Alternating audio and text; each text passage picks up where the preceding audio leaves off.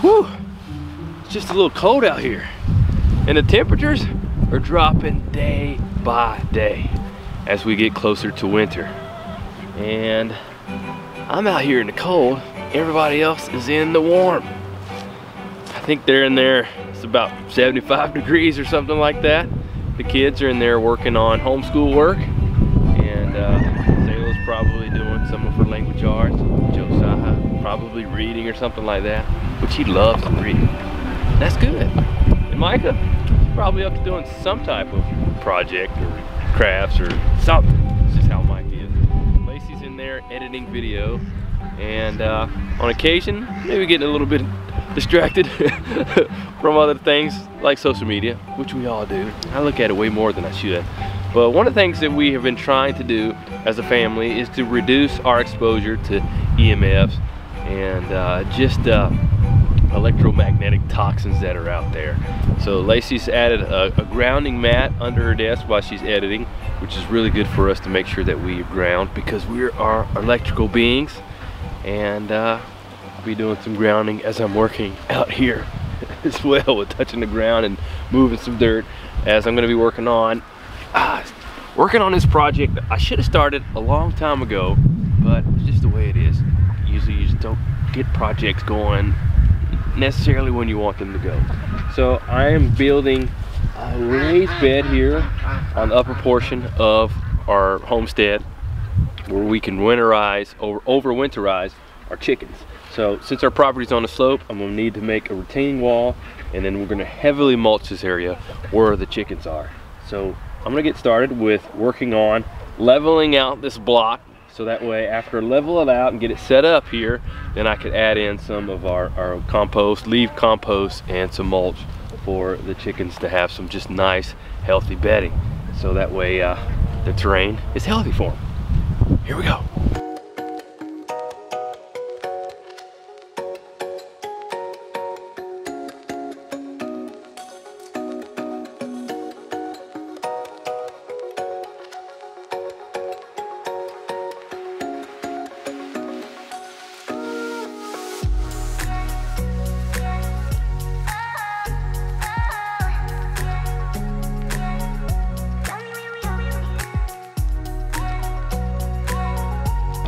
Alrighty, so I have my first corner up here as well as the part of the first wall.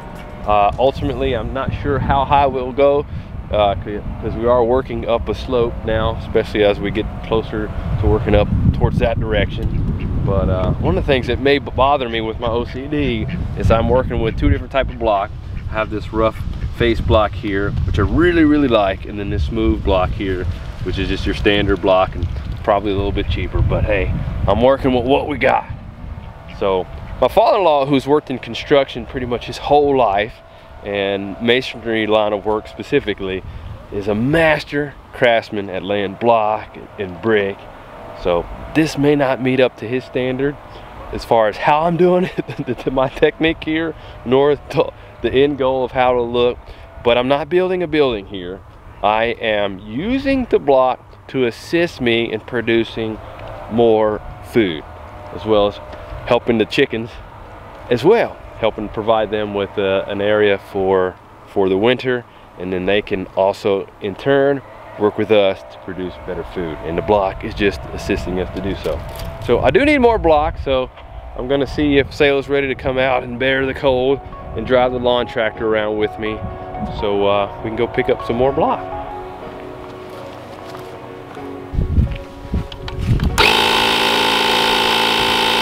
So the front tire on our tractor keeps going flat. So I ordered a flat free one to put on.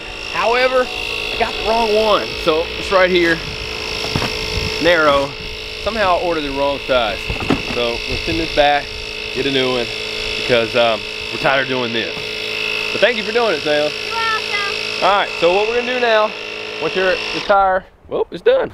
So what we're gonna do is we're gonna load some more block in here so I can continue to work on our area. So if you could drive the lawn tractor and meet me on over here. yes, sir, and I can't wait to get a flat free tire.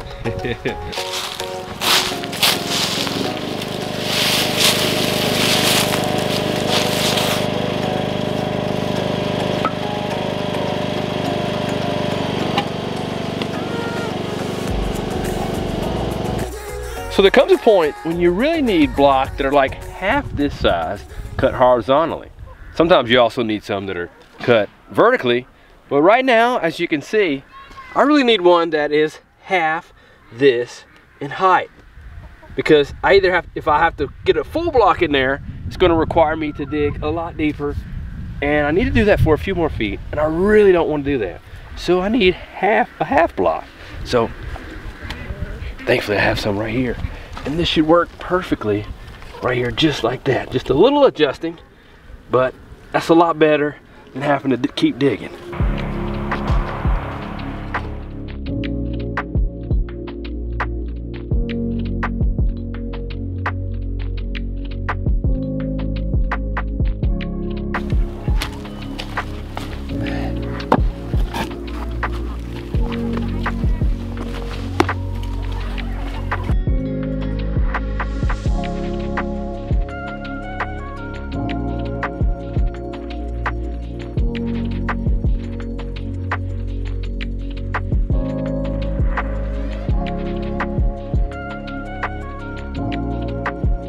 Alrighty, so I think I'm gonna call it a day with laying the block. I didn't get as far as I would like to have done, but I have made some pretty good progress.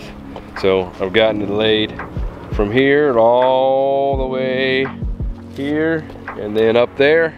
Ultimately, I wanted to do kind of like a U shape today, but we're gonna have to get some more block. I got all the block that I'm gonna be able to use and this is pretty good stopping point for today. So I just have this left, kind of come around here and then up there through here, kind of where the white Indian runner is going. Still got a bit ways to go, and uh, looks like here at the back, we're just kind of seeing how it slopes and where I'm gonna need to go. I think I'm gonna have to add another course of block. So at some points it's gonna probably be three courses high. And uh, I'm not sure if you can hear the machine working in the background, but we recently got some new neighbors that purchased a lot of the, the acreage that we were trying to get some of and uh, they're they moved out of the city and uh, they're trying to figure a way to figure out what to do with the land. They just knew they needed to get out of city the city and uh, start something out here some homesteading to some capacity. So we've met them and hopefully uh, maybe we can find something to, to uh, kind of connect with and collaborate on. We'll just have to see. But um, one of the things that I was doing with the with this area here is I want to I'm leaving the area open a grass path. Ultimately, I want grass to grow here. And then right here we have our fruit trees growing. So I could just take my uh, chicken tractors right through here and just run them through the different grass paths here in this section. So that's the goal, as well as having growing food inside this containment area here, uh, greenhouse that we'll set up. So we'll just keep plugging away. But in the meantime, I think I'm gonna have uh, police officer Josiah help me out with. We're gonna move the fence on the outside of the block now. Uh, so that way we can, uh, the chickens can move around, around a little bit easier and we can begin adding some, uh, some compost and uh, some bedding for them. All right, police officer Josiah, you ready to help me out? Yes, sir. So we're just gonna move this fence on the outside of the block, okay? All right. So after we moved the fence, next Josiah and I began the process of creating deep bedding for the chickens by adding some leaf compost that we have on site. We also moved a nesting box that we had been using a number of months ago in an old area that we had the chickens in. And where we moved the nesting box from, the soil there looks excellent.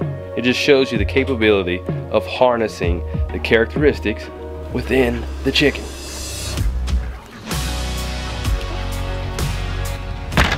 Man, it feels a lot warmer in here. A lot better than outside. Whew. Still have a number of things to do with that project.